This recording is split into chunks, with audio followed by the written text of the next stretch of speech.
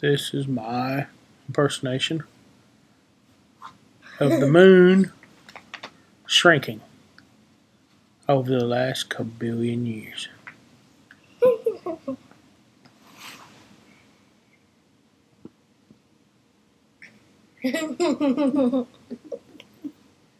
And I predict over the next kabillion years, the moon's going to do this.